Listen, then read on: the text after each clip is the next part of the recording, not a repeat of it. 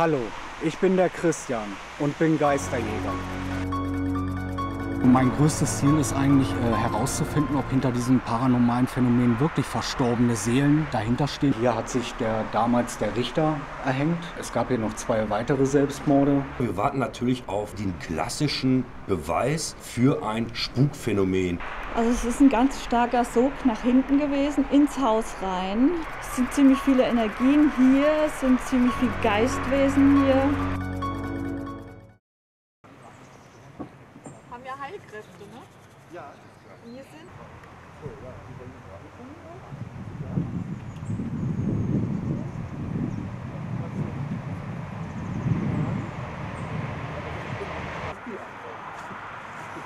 Ich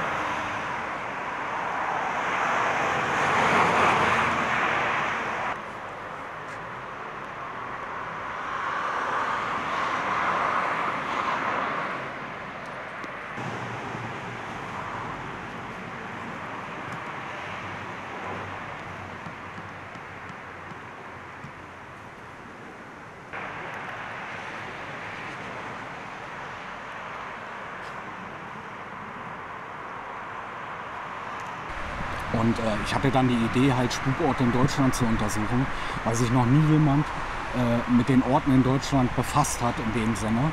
Und äh, ich finde, das ist eine tolle und interessante Thematik, vor allem weil die Parapsychologie in Deutschland immer ein Tabuthema ist. Also mein größtes Ziel ist eigentlich äh, herauszufinden, ob hinter diesem paranormalen Phänomen wirklich verstorbene Seelen, wie man sie halt Geister nennt, äh, dahinter stehen ob, oder ob es andere äh, paranormal oder andere Naturphänomene sind halt. Ne? Und das Interessante in diesem Haus ist halt eigentlich seine Geschichte an sich. Also diese Kausalitäten, die dort äh, existieren mit den äh, Selbstmorden zum Beispiel, die hier stattgefunden haben, alle im zweiten Obergeschoss, äh, auf die gleiche Art und Weise durch erhängen. Das ist schon eine Merkwürdigkeit, die man schon mal untersuchen sollte und müsste. Ähm, weil irgendwie zieht die Leute das magisch an, sich dort oben anscheinend das Leben zu nehmen. Und äh, welche, es war so, als ob man zu Boden gedrückt wird, als ob die Luft über einen schwer ist, die Atmosphäre. Und, und auch die Klänge der Umgebung, die waren irgendwie hallig, also die waren nicht normal. Sicherlich, man erhofft sich als Parapsychologe oder als Wissenschaftler hier natürlich den großen äh, zu landen, ja, dass man sagt, oh Mensch, wir nehmen hier Aufnahmen auf, die wirklich zeigen oder beweisen, dass es solche Phänomene äh, gibt. Ja, das Tragische an dem Haus sind die Todesfälle. Ne? Also es ist klar, das Haus äh, ist leerstehend, es ist abseits von jeder, sagen wir mal, Ortschaft. Ähm, Klar kommen hier viele Menschen hin, die natürlich Einsamkeit suchen und wahrscheinlich auch Selbstmordgedanken haben. Das ist natürlich der perfekte Platz.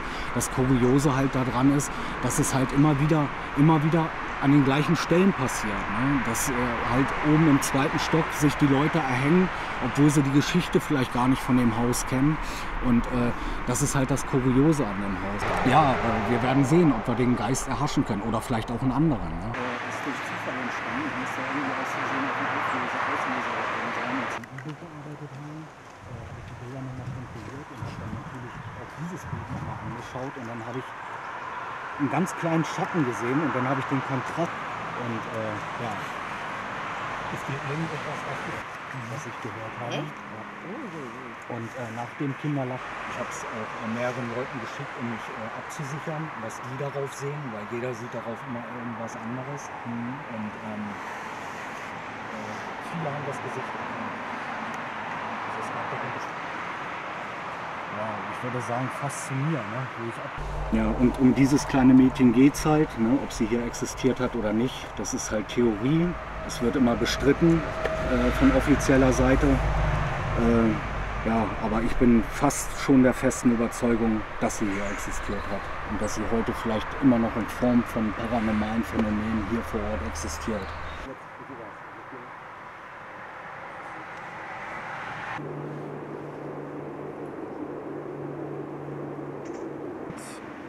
Nochmal fotografieren.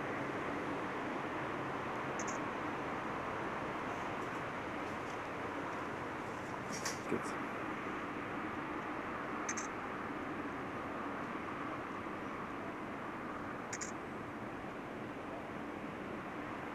Und runternehmen.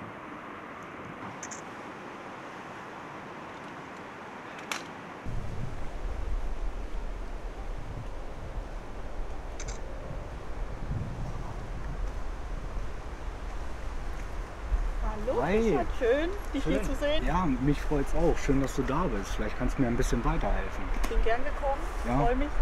Mal herauszufinden, was hier wirklich passiert und vor Ja. sich geht. Und hast du schon irgendwas gespürt, Ja, irgendwas also die? Energien sind ziemlich heftig hier. Mhm. Mir dröhnt auch der Kopf. Mhm. Schauen wir mal, was weiter passiert. Und ganz bestimmte Stellen, ja, schon gefunden. Ja, Gut. vorne der Eingang Mhm. ist sehr stark. Hier hinten haben wir noch mal ein Stück Mhm. und die oberen Fenster. Mhm.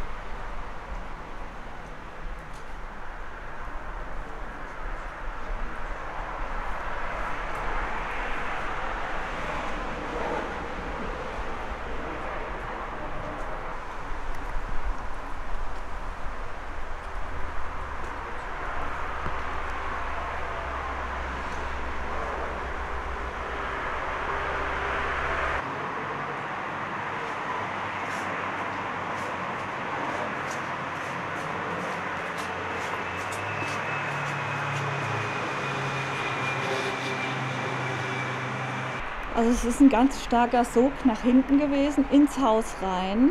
Äh, es war hier ziemlich viel Tumult, also irgendwann in der Vergangenheit, es war wie Krieg, es war, äh, ja, sind alle hier rumgerannt, es war irgendwie ganz heftig. Es sind ziemlich viele Energien hier, es sind ziemlich viele Geistwesen hier.